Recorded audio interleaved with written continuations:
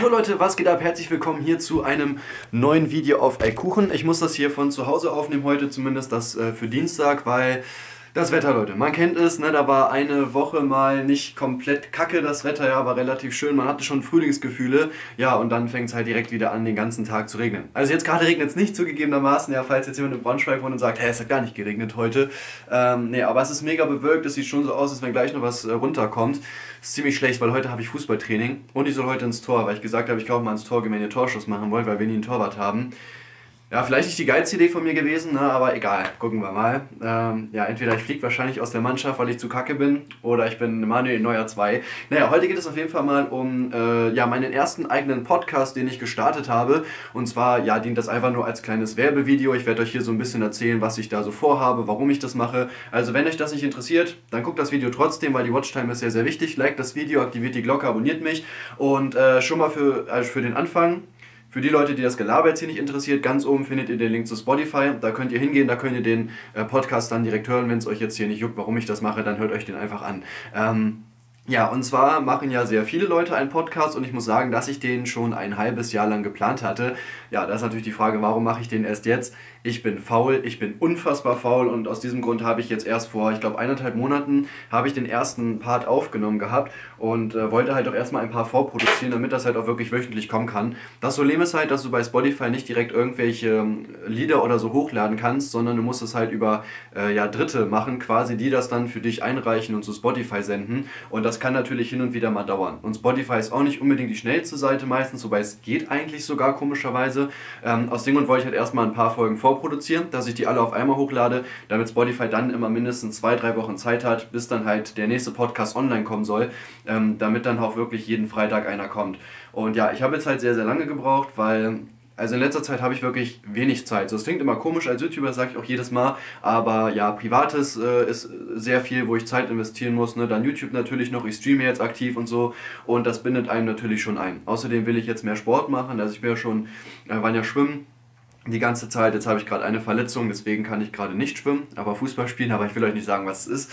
Ähm, ja, und ja, aus diesem Grund habe ich momentan nicht so viel Zeit und habe das jetzt erstmal vorproduziert. Ähm, ja, in diesem Podcast soll es äh, ja um alles Mögliche im Endeffekt gehen. Das werde ich jetzt aber noch ein bisschen genauer sagen. Also in den ersten Folgen habe ich, also in der ersten Folge vor allem habe ich erstmal so meinen Werdegang auf YouTube nochmal so ein bisschen beschrieben. Ich glaube, der Podcast geht auch irgendwie 70 Minuten oder 65 oder so, also wirklich von Anfang an, ja, wo ich meinen ersten Kanal erstellt habe, meine ersten Videos, ja, über meine Facebook-Seite, ja, bis zum Paulaner-Video oder sowas bin ich, glaube ich, gegangen, ungefähr. So ab da habe ich dann gesagt, jo, das war dann so mein Anfang auf YouTube. Und ähm, da sind auch sehr viele Insider drin und auch in den anderen Podcast-Folgen, die ich schon aufgenommen habe und auch aufgenommen, auf, aufnehmen werde, ähm, sind sehr viele Insider drin. Das heißt, wenn ihr euch generell für mich persönlich interessiert so oder ja, für das, was ich so erlebt habe, für das, was ich so gemacht habe, etc., ähm, dann lohnt sich das auf jeden Fall da reinzuschauen, weil da sind wirklich extrem viele Insider, die ich in einem Video oder auch generell so in meiner Online-Präsenz noch nie gesagt habe, weil das teilweise auch einfach den Rahmen gesprengt hat. Ich habe zum Beispiel auch hier auf dem Kanal ja schon Videos gemacht, ähm, wo ich zum Beispiel über meine ganzen Ausbildungen und so weiter geredet habe und auch über... Ähm, ja, also über die Ausbildung, die ich verloren habe zum Beispiel, ne, oder auch als Elektriker und so. Und ich habe in dem Podcast wirklich extrem viele neue Informationen für euch drin, äh, gerade was die Ausbildung ausgeht, wie so die Schule an sich war, wie die Klasse war, ja, wie die damit umgegangen ist, ähm, wie ich mich dabei gefühlt habe, wie das so war, was ich mit den Kindern gemacht habe, bla bla bla. Also da sind extrem viele Sachen drin, wirklich, die ihr wahrscheinlich noch überhaupt nicht gewusst habt, ähm, die aber trotzdem relativ interessant sind, wenn man sich da mit mir auseinandersetzen möchte. Und ja, aus diesem Grund kann ich euch das im Endeffekt nur empfehlen, da auf jeden Fall reinzuschauen anzuschauen. Ähm, das Ding ist die erste Folge, das ging halt jetzt um mein, mein YouTube-Dasein. Die zweite, ja, die ist so mäßig geworden, denke ich. Da geht es so um YouTube-Beef-Geschichten. Da erzähle ich so, wie ich das so gefunden habe, auch früher, ne, wie sich das so aufgebaut hat, bla bla bla. Da habe ich auch zum Beispiel über den Ernstling-Beef nochmal gesprochen, der jetzt, glaube ich, schon vier oder fünf Jahre her ist oder so. Ähm, dann in der dritten Folge geht es um meine Grundschulzeit. In der, in der Folge darauf geht es dann um die weiterführende Schule und in der dritten geht es dann halt, also und auch, auch Ausbildung und so weiter. Und in der dritten geht es dann halt fast ausschließlich nur noch um äh, ja, FSJ und meine Ausbildung, die ich verloren habe und so. Also die gehen halt immer 60 Minuten und ich musste drei Folgen machen oh, Entschuldigung, ich musste drei Folgen machen, um meinen kompletten äh, ja, Werdegang beruflicher und schulischer äh, Vergangenheit ähm, ja, in einen Podcast zu stecken. Also wirklich, das geht so 180 Minuten oder so. Also ich rede drei Stunden darüber, wie ich in der Schule früher war, wie das so war mit der Ausbildung und so. Also wie gesagt, ich denke auf jeden Fall, dass sich das lohnt. Und ich werde das auch in den nächsten Folgen halt so beibehalten, dass ich halt sehr viele Sachen nochmal in diesen Podcast stecke, die ich so halt noch nicht gesagt habe, auch wenn das Thema vielleicht an sich schon mal angesprochen worden ist. Also ich sag mal, ich habe ja letztens erst Videos gemacht, wo ich auch so gesagt habe, wie mein FSJ war und so. Ähm, da werden jetzt natürlich viele sagen, na gut, warum soll ich mir einen Podcast anhören, wo du nochmal genau das Gleiche sagst. Ähm, das Ding ist, bei so einem Video will man jetzt natürlich hier keine, kein 50-Minuten-Video machen. Außer wenn es halt mal um meine Fußballkarriere geht. Bestimmt mache ich dazu auch noch einen Podcast, wäre eigentlich auch ganz lustig. Ähm, ja, auf jeden Fall ist das Ganze halt so, dass ich halt in diesem Podcast, wie gesagt, sehr viele Insider nochmal reinpacke, sehr viele Sachen, die man halt noch nicht wusste. Und allein deswegen denke ich mal schon, dass sich das auf jeden Fall lohnt, da halt reinzugucken. Ja, also das kann ich euch auf jeden Fall nur so mitgeben. Ähm, ihr könnt mir auch sehr gerne Themenvorschläge in die Kommentare schreiben. Also ich will auf jeden Fall noch ein Thema zu, zu Glücksspiel machen. Ich meine, viele wissen, dass ich ganz selten meine Spielo gehe, so für 10 oder 20 Euro. Ähm, dann habe ich früher mal Sportwetten gemacht, das wissen sicherlich auch noch einige. Und äh, ja, da habe ich wirklich viel Erfahrung gemacht. Ne? So auch Online-Casino und so. Ich denke mal, da kann ich auf jeden Fall so ein bisschen halt was mitgeben. Und das zweite Thema, was ich auf jeden Fall noch machen möchte, ist über Freundschaft zu reden, allgemein. Ne? Ich hatte ja auch Zeiten, wo ich so gar keine Freunde hatte. Das ist nochmal dann so ein ähm, sehr, sehr privates Thema natürlich, ne? aber da habe ich auch Bock drauf, da nochmal einen Podcast zu, machen.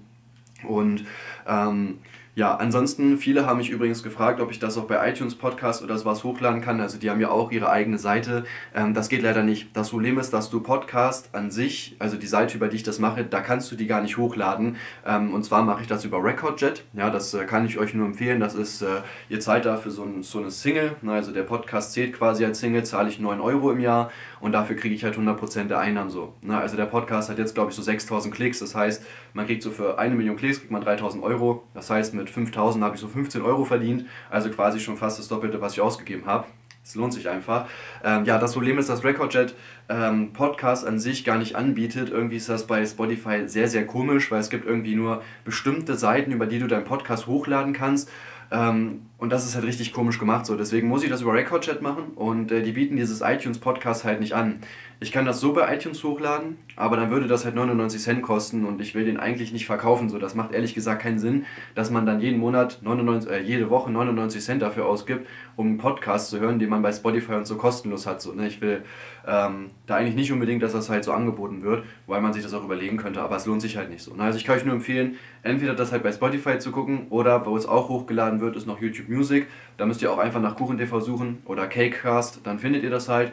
Ähm, ja, genau, ich kann das halt leider nicht als Podcast hochladen. So, ich habe mich vorher damit auseinandergesetzt.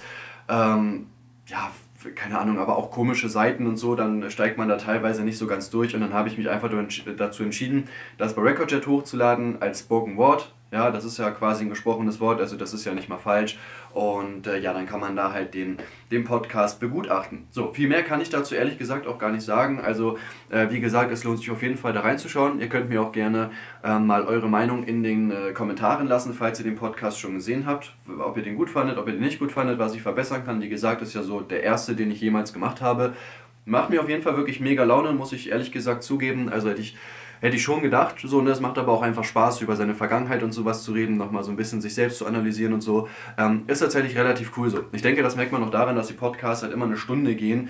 Ähm, ja, ich, ich, andere gehen halt so 40 Minuten oder so und ich auch meistens immer so nach einer Stunde denke ich mir so, okay, langsam solltest du äh, da auf jeden Fall einen Cut machen. Ähm, ja, an dieser Stelle wollte ich übrigens auch nochmal sagen, dass ich mich übrigens von äh, Cynic habe inspirieren lassen, äh, dass ich den Podcast so gestalte, wie er jetzt geworden ist. Denn der hat das Ganze sehr, sehr ähnlich gemacht. Also ich weiß nicht, ob ihr Cynic kennt. Das ist so, ja, wahrscheinlich mit der bekannteste Battle-Rapper halt in Deutschland. Ne? Der hat ähm, bei Rapper Mittwoch und so weiter mitgemacht. Top Your Takeover, der wäre auch bei dem äh, Kollega-Battle da, ist im Finale. Guckt euch das auf jeden Fall an, wenn das draußen ist. Es lohnt sich auf jeden Fall. Äh, sehr, sehr unterhalten für die Zuschauer auf jeden Fall. Und äh, ja, der hat auch einen Podcast und da hat er auch sehr viele, ähm, sehr viele Podcasts halt gemacht, wo er zum Beispiel auch über seinen Arbeitswerdegang geredet hat, wo der so über privatere Sachen geredet hat.